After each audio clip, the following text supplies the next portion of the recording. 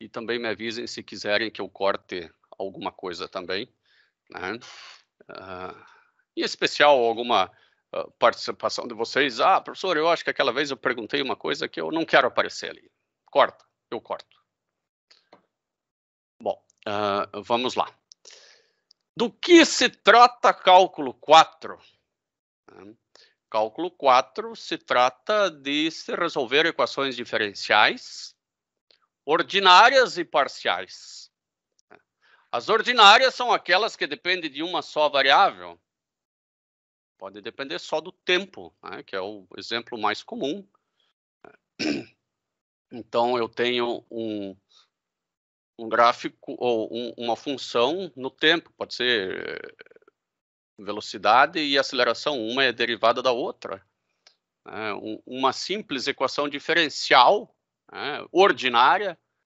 Então, se eu tenho aqui um, um determinado objeto, é, esse objeto ele vai ser puxado até o solo aqui com uma força mg e ele vai sofrer uma força de arrasto, né? Aquela história, se não tivesse, se não existisse força de arrasto, paraquedas não serviria para nada. E eu vou dizer que essa força ela é proporcional à velocidade, não gama vezes a velocidade. Eu, eu até poderia dizer que, ele é, que ela é proporcional ao, ao negativo da velocidade, né? Porque se a velocidade é para baixo, a força é para cima. É o negativo do vetor velocidade. É, então, eu teria que colocar um vetorzinho aqui também e um vetorzinho aqui também. É, eu estou considerando aqui que a velocidade positiva é para baixo. Tá? Velocidade positiva é para baixo. Então, eu faço assim, ó. Força que vai para baixo, menos força que vai para cima, menos a força que vai para cima, que estou trabalhando só com os módulos, é igual a massa vezes a aceleração. G é constante. Então, mg igual, aliás, menos gama v igual a massa vezes dv dt. Aqui eu tenho uma equação diferencial de ordem 1 tranquilamente nós poderíamos transformá-la numa de ordem 2. Aqui ela nem está da forma mais bonita ainda, né? A forma mais bonita é essa aqui, ó.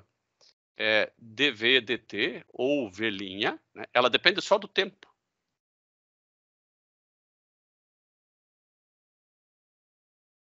Mais, estou dividindo tudo por m, tá? Mais gama sobre mv igual a g. Esta é a, a minha EDO de uma forma padronizada, bonita. É o jeitão que normalmente ela, ela é escrita. Bom, eu poderia também ela escrever, assim, escrever ela assim, ó, derivada segunda no tempo da posição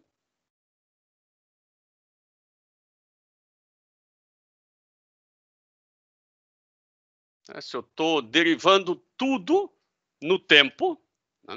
igual a zero. Porque o g, né? o g derivado no tempo, o g é constante. Né? Se eu derivar ele no tempo, naturalmente ele vai ser zero. Ah, e por que, que aqui ele não é zero? Não foi derivado. Né? Aqui eu derivei dos dois lados em relação ao tempo. Aqui eu tenho uma EDO de segunda ordem. Tá? EDO, equação diferencial comum ou ordinária. Né? Vejam que o ordinária ele tem, né, no português, dois, dois significados. Né? Uh, quando tem a reunião, né, eu acho que ela deve... A palavra ordinária, ela deve ter se tornado um aspecto negativo com a introdução da política né, porque existem as reuniões ordinárias das câmaras dos deputados. Uh, né? Então, lá só tem ordinário. Né? Talvez foi essa a ideia. Mas a reunião ordinária, é claro que eu estou generalizando, né? pode se salvar um, né? talvez dois, uh, mas é uma reunião comum, corriqueira, né? assim como essas equações são comuns, corriqueiras, que dependem de uma variável só.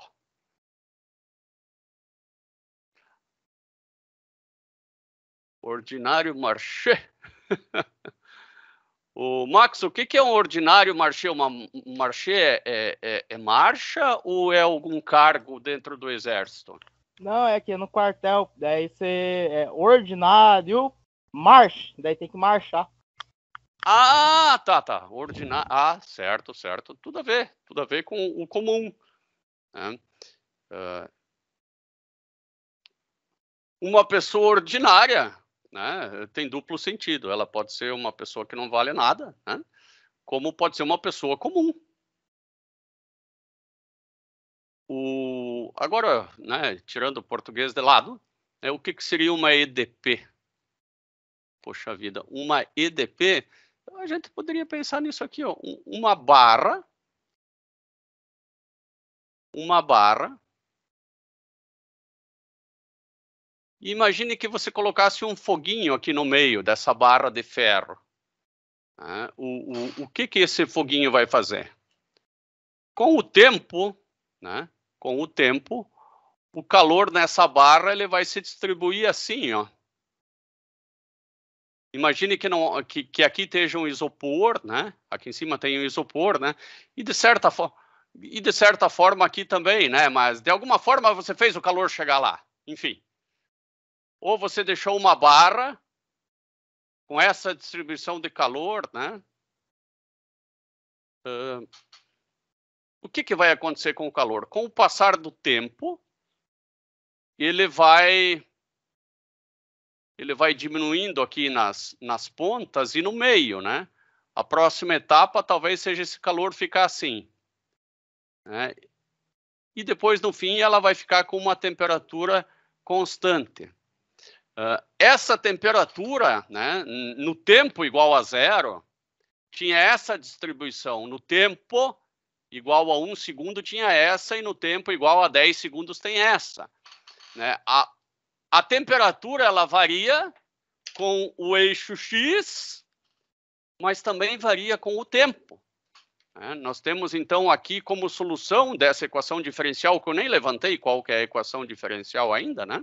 Eu poderia escrevê-la para vocês aqui, mas isso é assunto para mais para frente, né? que a derivada segunda da temperatura ao longo de x, né? Aqui é o símbolo de derivada parcial, é aquele D tortinho, tá? O bom é que eu escrevo ele mal escrito, daí você nunca sabe se é o D tortinho ou se é o D, mas também na prática isso tanto faz.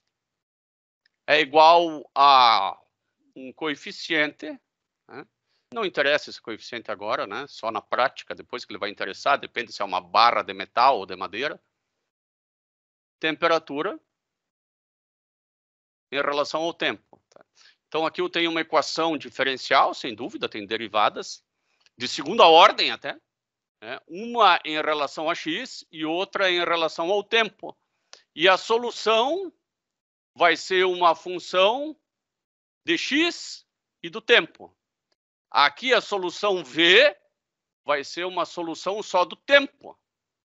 Aqui a solução y vai ser uma solução que só depende do tempo. É, tudo bem que aqui é uma equação de segunda ordem e aqui é de primeira.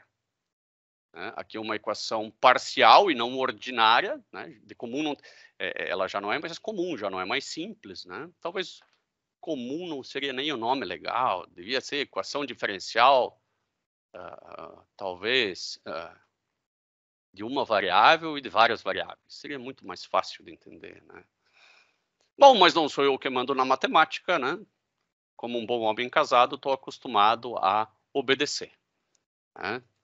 Então, aprendam, né? Principalmente os homens aí que não são casados, a obedecer, que a vida é muito mais feliz. Bom, vamos lá.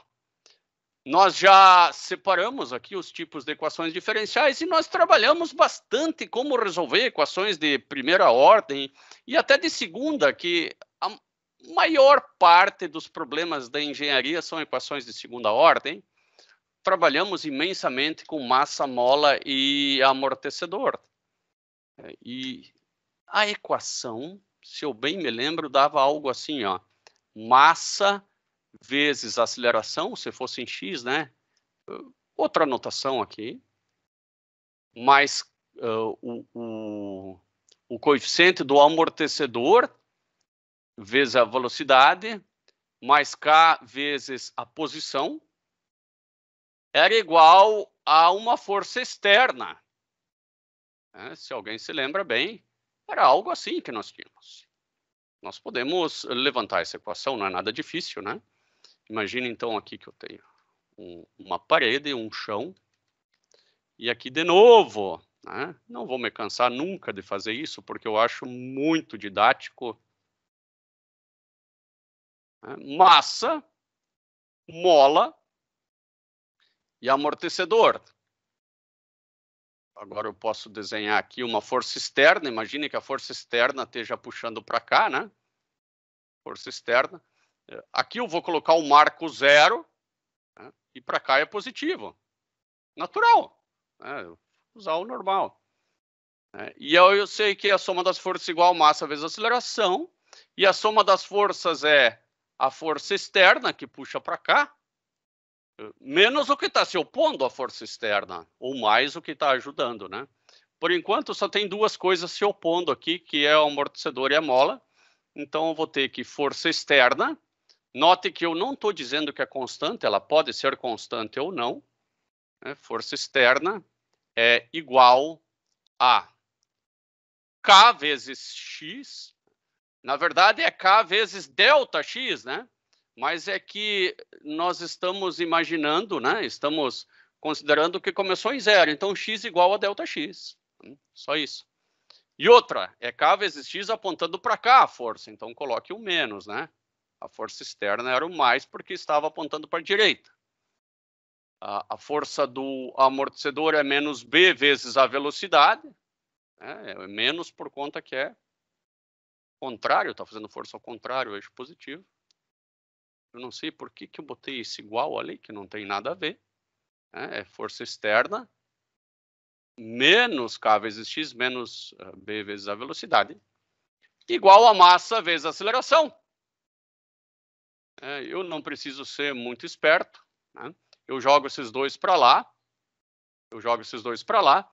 Né? E que eu vou ter exatamente isso aqui. Mas, como vocês já estão cansados de massa mola e amortecedor, que tal a gente fazer um exemplinho elétrico?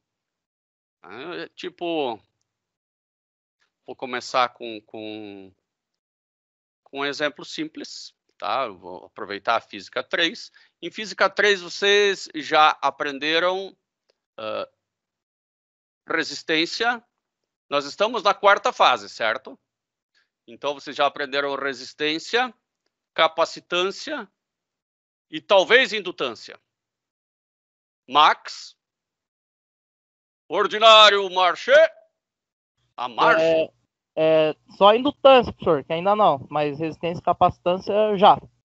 Então tá bom, então vamos aprender agora. Vamos aprender agora, não é nada difícil. Né? Eu vou pedir aí para uma pessoa tipo o Gustavo Donda, uma pessoa de alto gabarito. Gustavão, o que, que é uma resistência?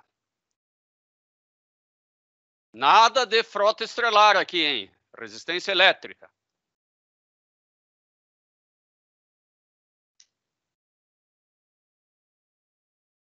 Fala aí, sem medo de ser feliz.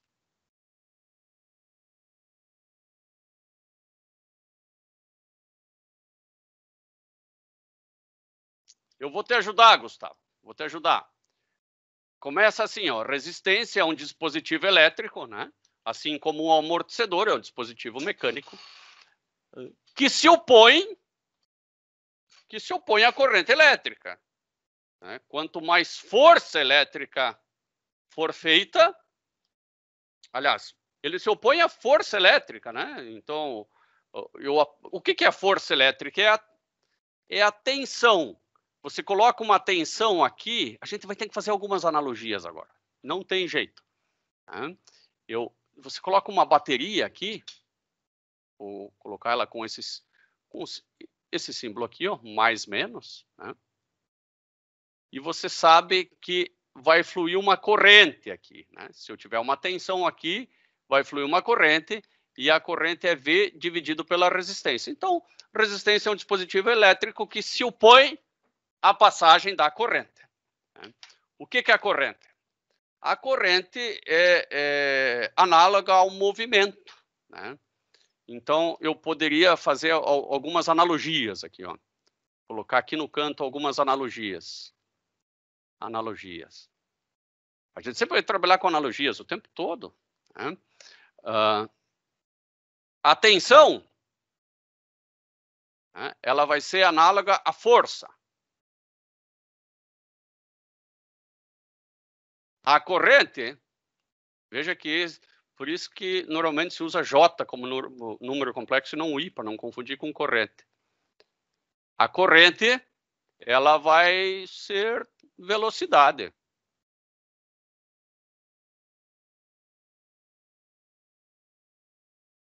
A resistência. Bom, eu pergunto para vocês, a resistência ela esquenta? Donda, esquenta? Sim ou não? Sim, opa, começamos bem. Começamos bem. Se ela esquenta, ela é parecida com o amortecedor. Porque o amortecedor, ele esquenta, ele transforma energia mecânica em calor. Já a mola, não. A mola armazena energia e devolve. E a massa, ela armazena energia cinética e não potencial, como a mola, ela é mv quadrado sobre 2, né? E devolve. Basta você jogar um tijolo contra alguém que você vai ver o estrago que a energia daquele tijolo faz quando acerta o cidadão.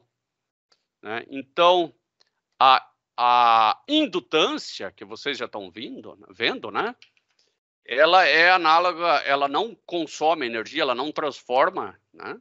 Ela vai ser análoga à, à massa ou a algo que, né? A massa ou a mola, né? Eu já adianto aqui que é a massa.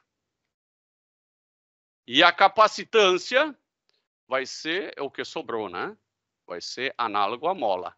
Né? E como é que, Ângelo, você consegue falar isso com tanta certeza? Bom, eu consigo falar isso com tanta certeza pelo seguinte, né? A força até dá para entender e a corrente, né? Ah, vai. Agora, qual que é a equação do resistor, né? A equação do resistor, e você vai puxar lá da física 3, não precisa inventar, é V igual a R vezes I. Só que I, é, você sabe que I é de Q dt, né, que a corrente é a variação, né, é o delta carga no tempo, né, é o fluxo das cargas. Você também sabe, você também sabe que no amortecedor, cuidado com esse V com velocidade, né? Poxa vida. É, no amortecedor, nós temos uma equação que é força do amortecedor é igual a B vezes dx dt. Olha como essas equações são parecidas, né? Como essas equações são parecidas. Né? Uh, você sabe que na massa, vou pegar outra cor aqui, na massa, que equação que eu tenho Força igual a massa vezes aceleração, é o máximo que eu consigo aqui. Força igual a massa vezes derivada segunda no tempo. E na indutância, vocês sabem que V, a tensão numa bobina, né? Indutância, indutância é uma bobina, né? capacitância é um capacitor, só são duas placas paralelas. Vocês já viram isso no, no ensino médio, né? mas eu vou repassar aqui. A, a equação aqui para indutância é V igual a L di dt. Né? Então, perceba que a relação entre tensão e corrente não é tão direta quanto no resistor, né? No resistor, se aumentou a tensão, aumenta a corrente. No indutor não é assim. Se aumentou a variação da corrente, é que aumenta a tensão. Não necessariamente a corrente, mas a variação.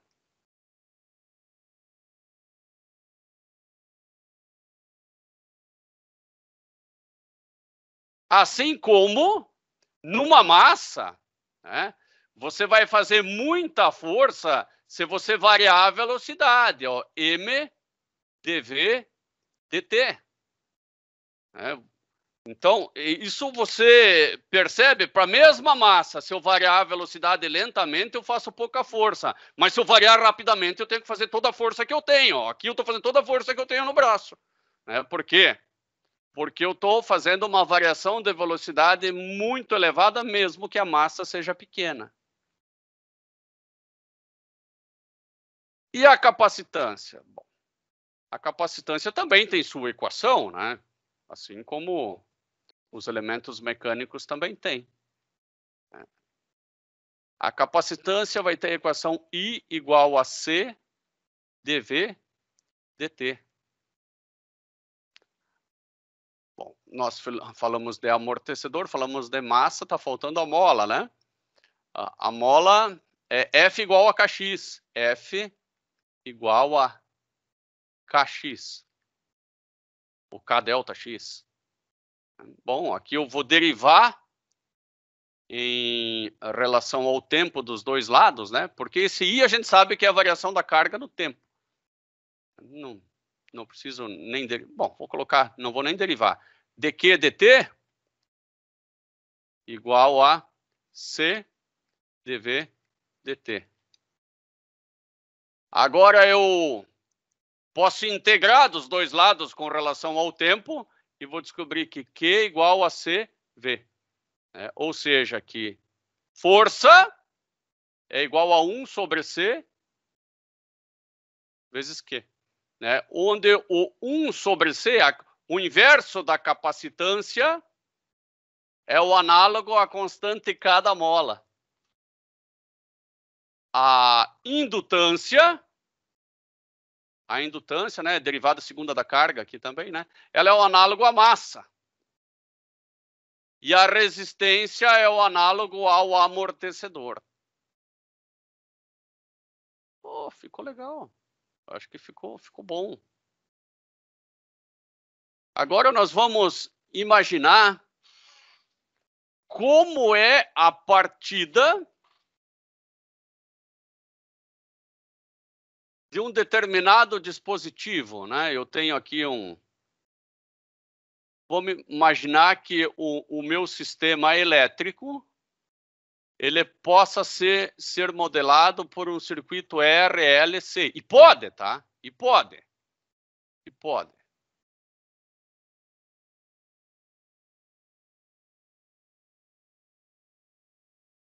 Imagine que a tensão aqui que é a tensão da tomada, ela seja de, uh, na verdade, para ser 220 volts, tá? Ela tem que ser de 311 aqui. 311 é 220 vezes raiz de 2. Um dia vocês vão entender isso, tá? Mas para ser a nossa tomada, a tensão de pico é 311, tá? Vezes o seno de 377 vezes o tempo. O que, que é esse 377, Ângelo? Esse 377 é o ômega. Né? O ômega é 2 vezes π vezes a frequência, que é os 60 Hz. Então, a força elétrica, ou a tensão elétrica, em inglês às vezes é chamado de força mesmo.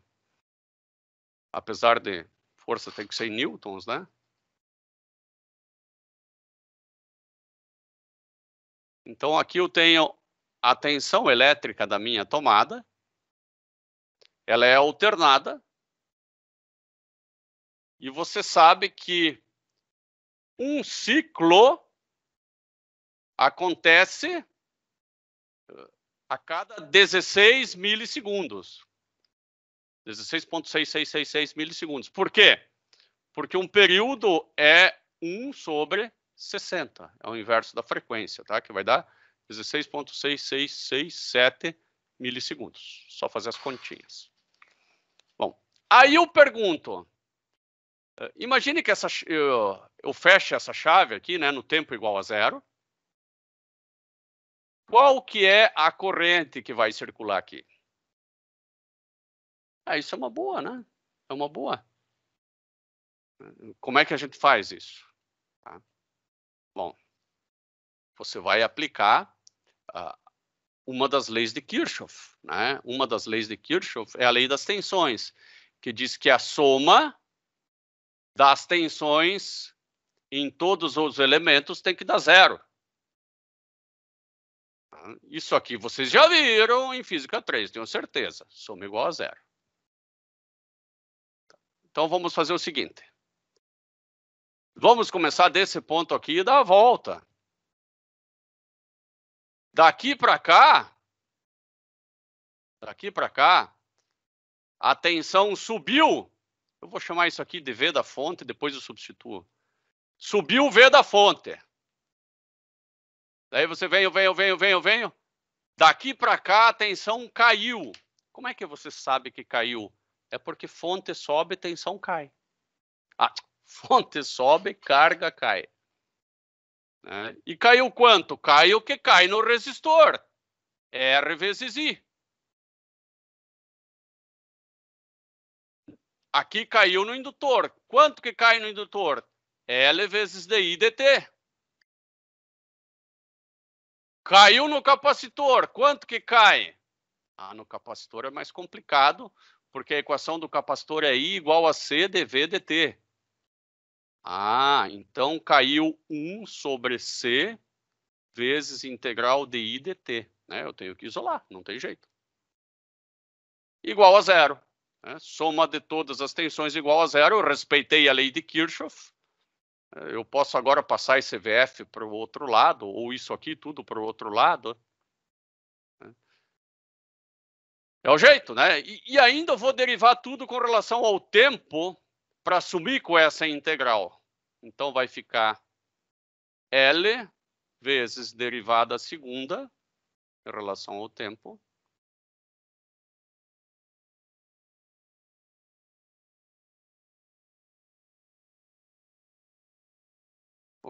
eu nem precisaria derivar, eu posso simplesmente, ao invés de colocar DI, eu coloco DQ. Né? I igual a dq dt, né? fica mais fácil ainda. Derivada segunda da carga em relação ao tempo. Estou né? me complicando aqui à toa. Mais R dq dt, só diz que I igual a dq dt. Menos Q sobre C. Mais, né? Estou passando tudo para o lado de lá. Igual ao VF. Agora, para deixar isso aqui bem uma equação padrão mesmo, derivada segunda de Q em relação ao tempo ao quadrado, mais R sobre L dq dt, mais Q sobre LC igual a VF. Bom, essa é uma equação elétrica, tá? Equação do circuito elétrico Mas eu acho que ele é muito parecido com a equação mecânica, se você pensar. Imagine que eu tivesse assim, ó, d derivada segunda em relação ao tempo, mais, eu até vou, só, só pela analogia eu vou pegar, mais b sobre m, dx dt, mais x sobre M, só que a capacitância não é, é, é 1 sobre, né? Então, K sobre M vezes X. Escrever isso mais bonitinho.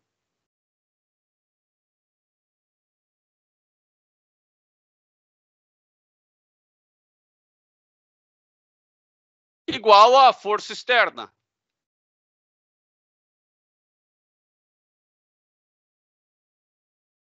Eu me lembro de um KX aqui lá no final, então tá ok, ó é exatamente a mesma equação. É, agora é questão de resolver. Como é que eu faço para resolver uma equação dessa? É. Vocês se lembram bem que nós uh, uh, supunhamos né, que a solução, né, a gente nem sabia, a gente supunha que a solução era AE na ST. Substituía aqui dentro, né, da primeira ou da segunda, tanto faz. Né?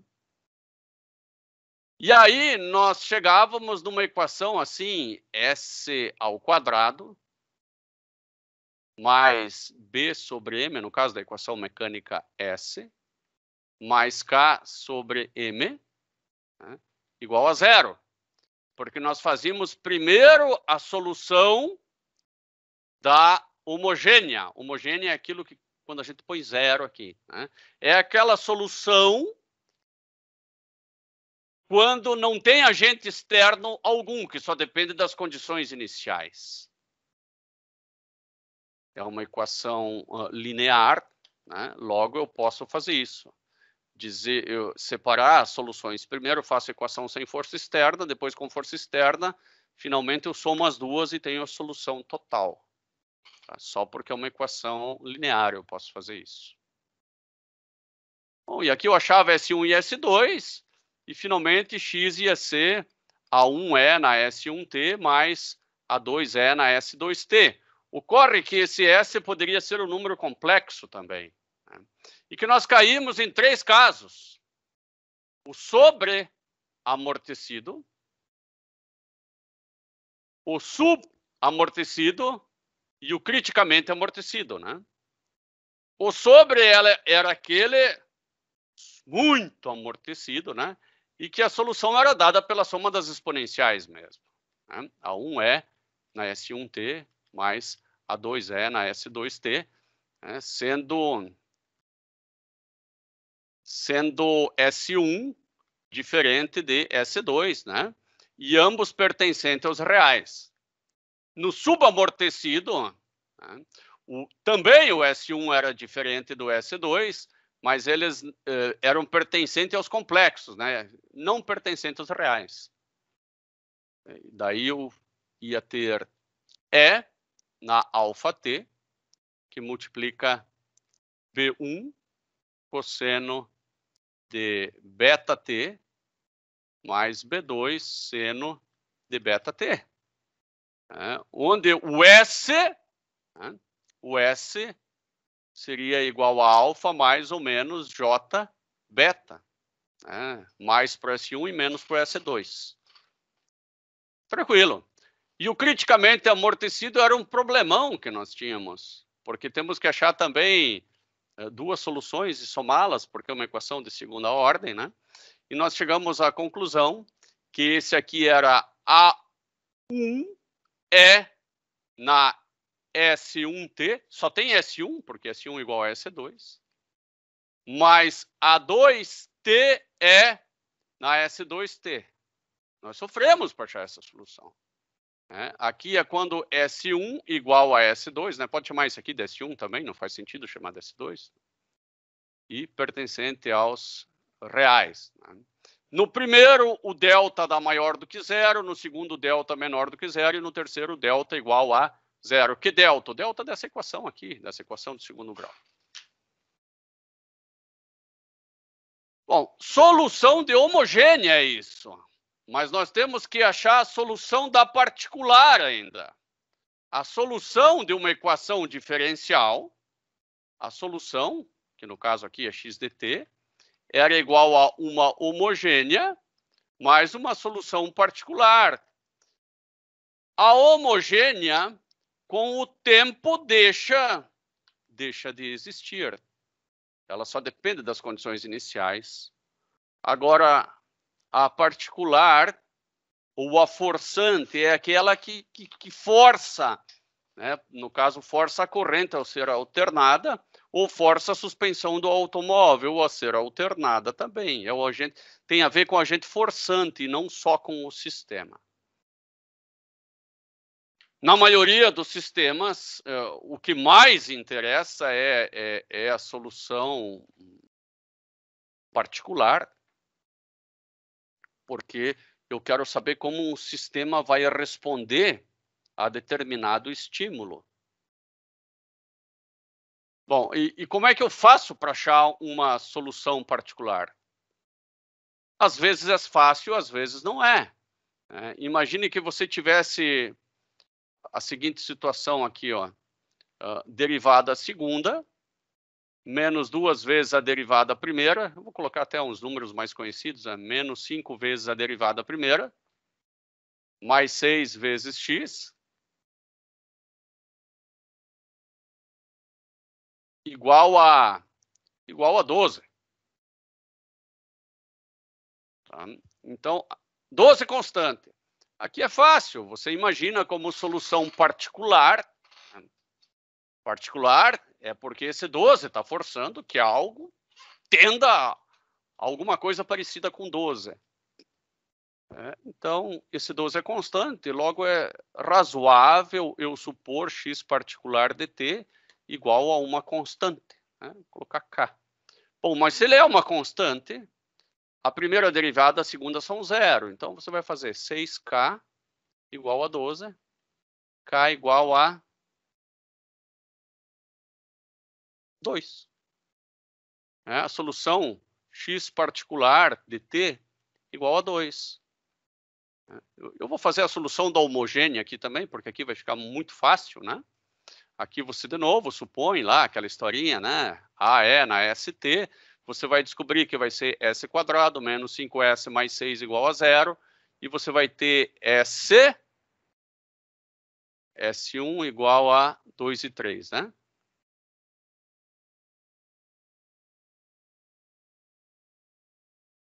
Então, você vai ficar com a solução x igual a Uh, isso aqui fisicamente não vai ser possível. Eu só vou trocar alguns sinais para ficar fisicamente possível. Ah, deixa assim, não faz mal. Vai ser A1E na 2T mais A2E na 3T mais 2. Essa é a solução da a, a solução geral, tá? Essa é a parte homogênea e essa é a parte particular. Tá? Por que eu disse que não é fisicamente possível? Porque eh, esses números deveriam ser negativos, né, de forma que a homogênea sumisse com o tempo. Então, vamos a alguma coisa que fisicamente seja possível.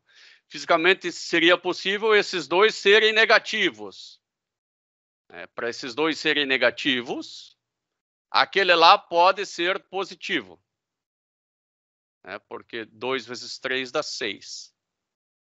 Né? E esse aqui tem que ser positivo também. Só isso. Né? Daí, aqui vai ficar menos e aqui vai ficar menos. Aí você percebe que conforme o tempo tende a infinito, pouco interessam as condições iniciais, que isso aqui vai para zero mesmo, e a solução final da equação diferencial é 2. Tá? Vamos, vamos ver um gráfico para entender melhor isso aqui.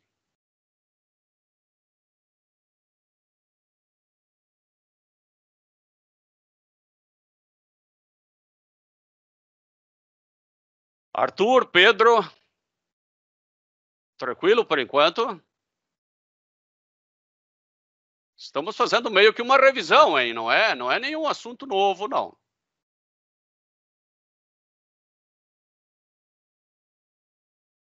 Que bom, que bom. Tá, então, eu vou colocar aqui como eu chamei lá de x, x uh, particular de t igual a 2. Nem sei se ele vai aceitar porque é dt, mas acho que sim. x homogêneo de t. eu vou colocar vários, eu vou deixar o a genérico mesmo aqui, ó. A1 vezes E elevado na menos 2 vezes T, mais V1 vezes E elevado na menos 3 vezes T. Eu só vou ter que dar antes o valor de A1 e de B1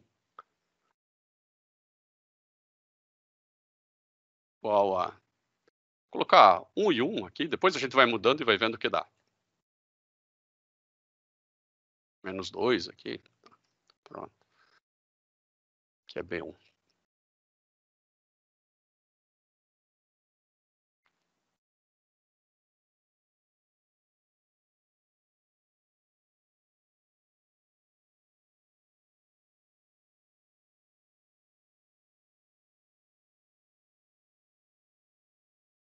X.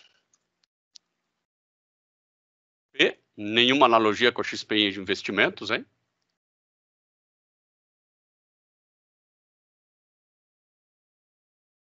Dois, beleza. X da homogênea. Tempo negativo é uma coisa que não faz o menor sentido. Claro que ele vai crescer indefinidamente. Agora sim, ó, venho daqui até aqui. Eu só vou mudar um pouquinho, um valorzinho aqui, só para só dar uma emoção. É, vou colocar aqui um, um 5. Depois aqui um menos 7. Ah, menos 2 para ficar bonitinho. Pronto. Aqui ficou bom. Ficou bom. E aqui eu vou colocar a soma dos dois, XP mais XH.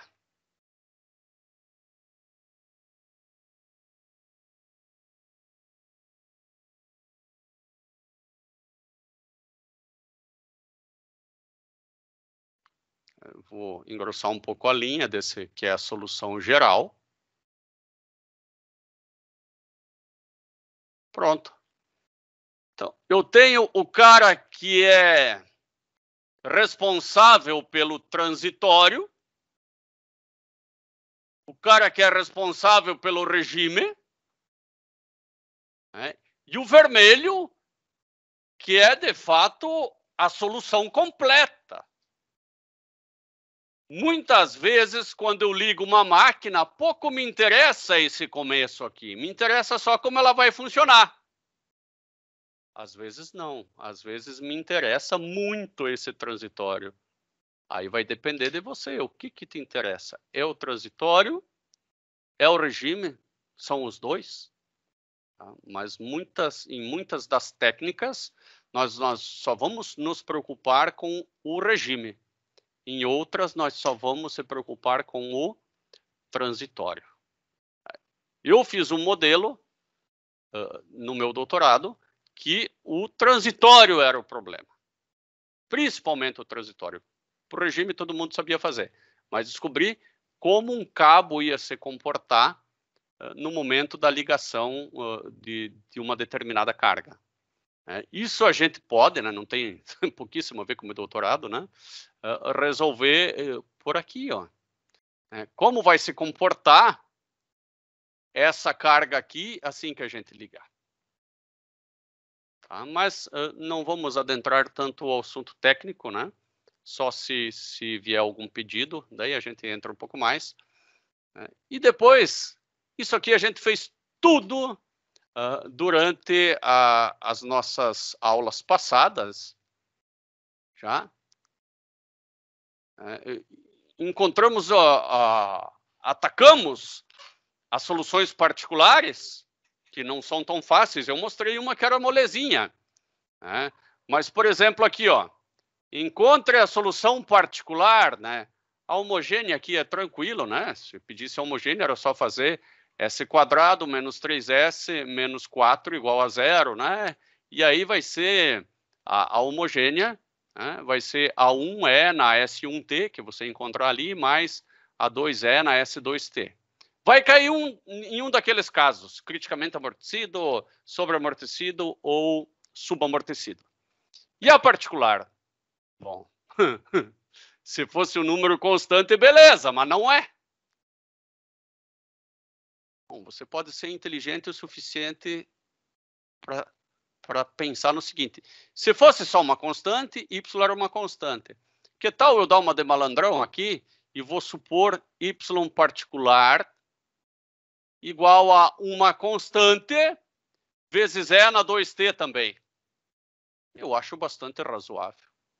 Mesmo porque as derivadas de E vão virar E e eu posso comparar todos os E daqui com os S de lá.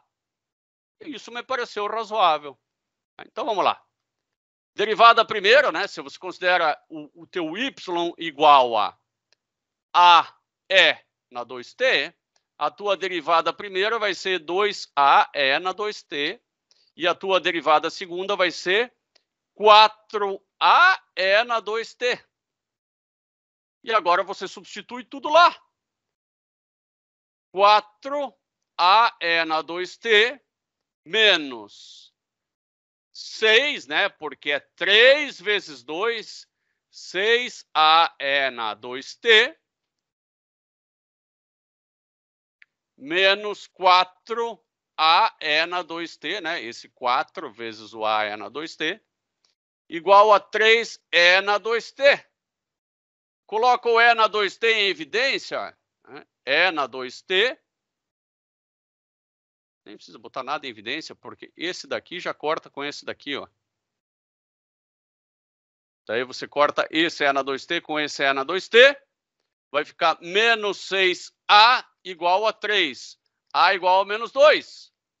Né? E aí você, com isso, disse que a solução particular, a particular daquela equação lá, é menos 2 E na 2T. Será que é verdade? Bom, se você tem dúvida, meu irmão, você faz o seguinte: você deriva uma vez, né, y' particular, vai ser menos 4 e na 2t. E você deriva outra vez, y duas linhas, vai ser menos 8, né? 4, 2, 8. Menos 8 é na 2t. Agora faz menos 8 é na 2t, menos 3 vezes 4, 12 é na 2t, menos mais 4 vezes 2, 8, 8 é na 2t. E verifica se isso aqui é 3 é na 2t. Esse vai cortar, esse aqui vai cortar uh, com este daqui, né? E a gente se meteu numa coisa aqui que acho que não deu certo, eu fiz muito rápido, alguma coisa que não deu certo. 6 dividido por 3, 2.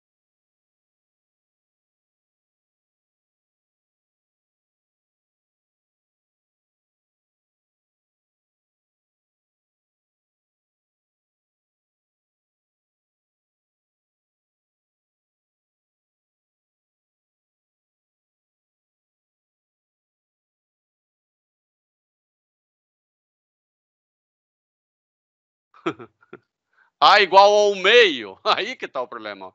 Esse corta com esse, esse corta com esse. E aqui dá A igual a menos um meio. E não menos dois. Tá? Então, aqui é menos um meio. Tá? Aqui vai ficar menos um. Porque vai ficar dois vezes menos um meio. Né? E aqui vai ficar menos dois. Pronto, daí aqui vai ficar menos 2. Menos 1 vezes menos 3 vai dar mais 4.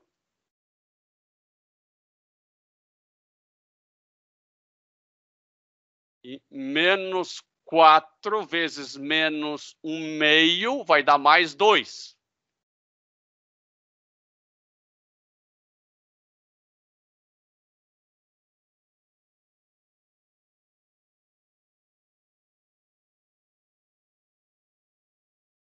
Fazer mais devagar.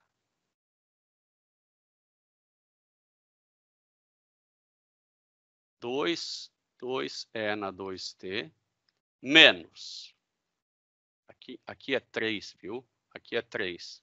Porque vai ficar 3 vezes menos 1. Eu não sei de onde que eu tirei o 4.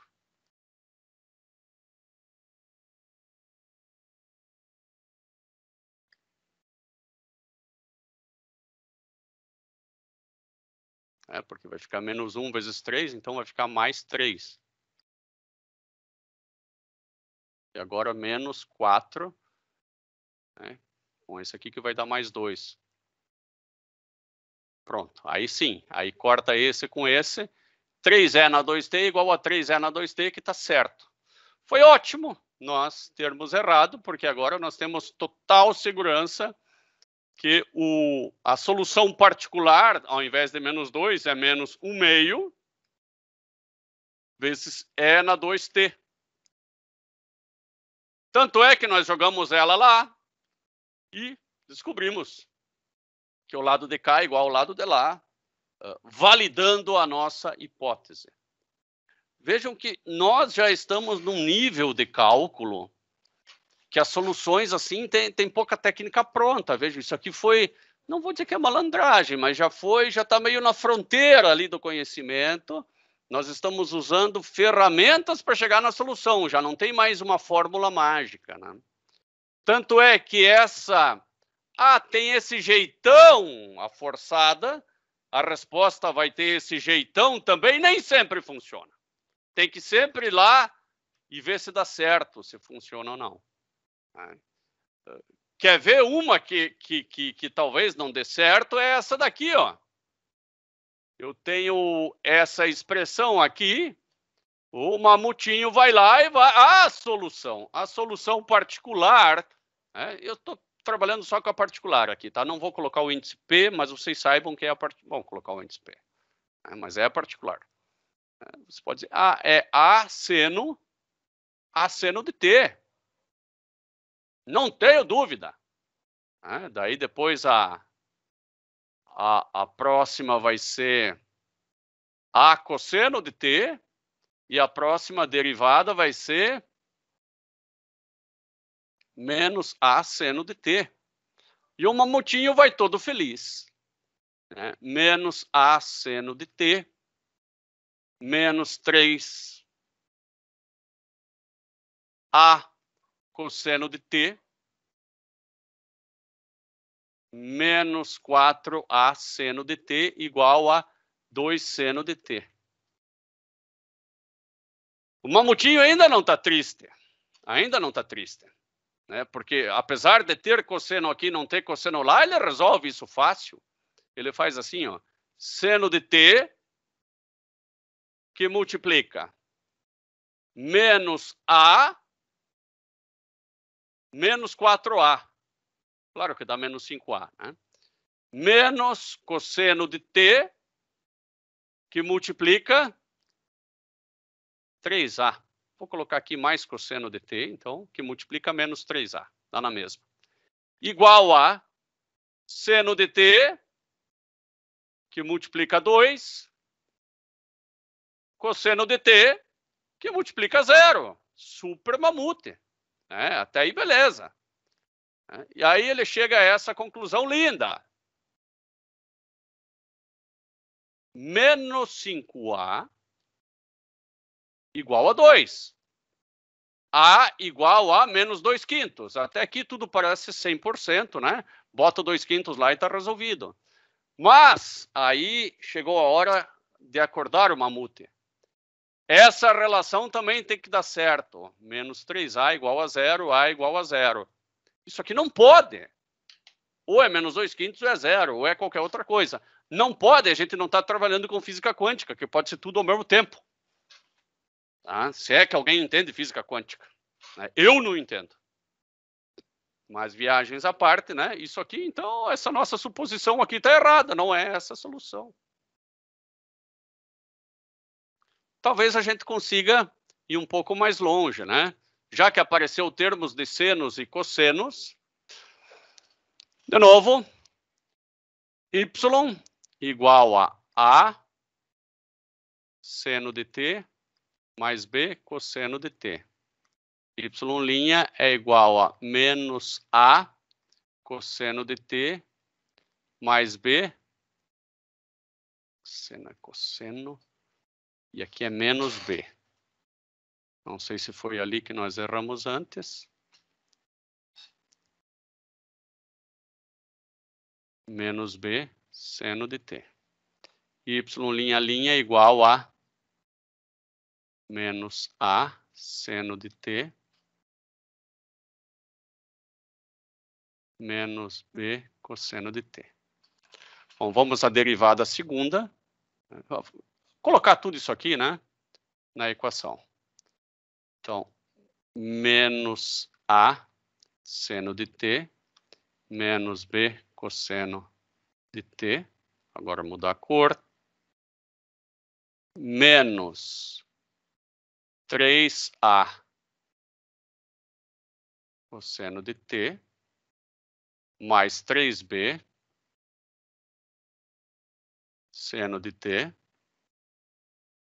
da cor de novo menos 4 a seno de t menos 4b cosseno de t igual a 2 seno de t. Quais que são os termos que têm seno? Eu vou circular. Este. Este. E este. Então, menos 4A, menos 5A.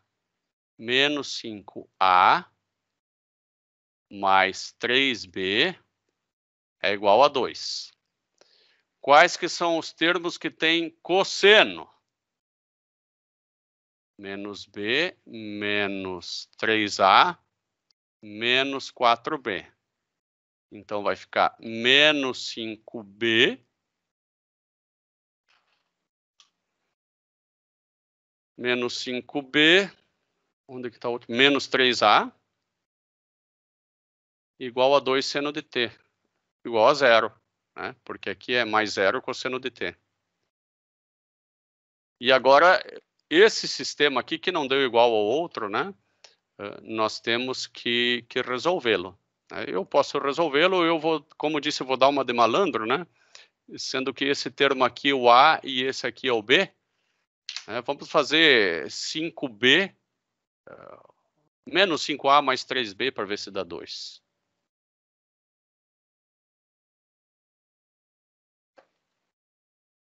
Então, menos 5A mais 3B deu 2. Tá? Então, agora nós chegamos nos valores certos. Eu vou fazer menos 5B, menos 3A também, tá? Menos 5B, então é menos uh, 5 aqui. menos 5B mais 3A.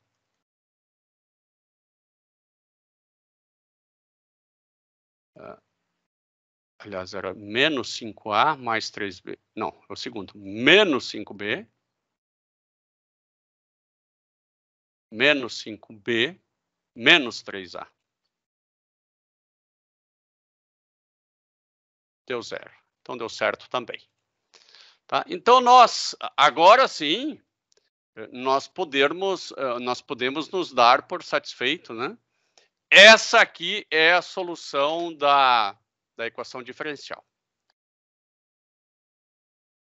Essa técnica de você supor uma solução com a mesma forma da resposta forçada e encontrar esses A's e esses B's, ou só A, no, dependendo do caso, é chamada de coeficientes a determinar, tá? porque você coloca a resposta com a mesma cara da função que força, só que você não sabe os coeficientes eh, da resposta. Você vai determinar os coeficientes. Revisando, então. Uma equação diferencial tem a solução da homogênea e da particular. Aprendemos apenas hoje a calcular a solução particular com o método dos coeficientes a determinar. Existem outros métodos ainda. Existe o método da ah, variação dos parâmetros, que vai ser a próxima aula. E o desafio alguém a encontrar a solução não vai ser por nenhum desses métodos, tá? mas alguém, pelo menos no MATLAB, tentar encontrar a solução dessa equação aqui, ó. Vou colocar ela aqui, ela é muito simples. Só que ela não tem coeficientes constantes. Tá? Ela é y duas linhas menos 1 sobre x vezes y igual a zero. Ó, ela nem tem forçante, hein? Nem tem forçante. Tá? Só a solução da homogênea. É, e aí eu vou dar a, as condições de as condições de contorno aqui. É, no ponto x igual a 1, não posso dar no x igual a zero, porque ela está aqui no denominador, tá? E y' de 1 igual a menos 2. Tá? Então, essas aqui são as condições de contorno da função e na derivada da função, e essa é a EDO. Tá? Quem conseguir achar a solução essa aqui, vai ganhar os meus parabéns. Tá? Não é tão difícil também para ganhar algum ponto. Meus caros, ficou alguma dúvida? Tirando essa, esse desafio, ficou alguma dúvida da aula de hoje?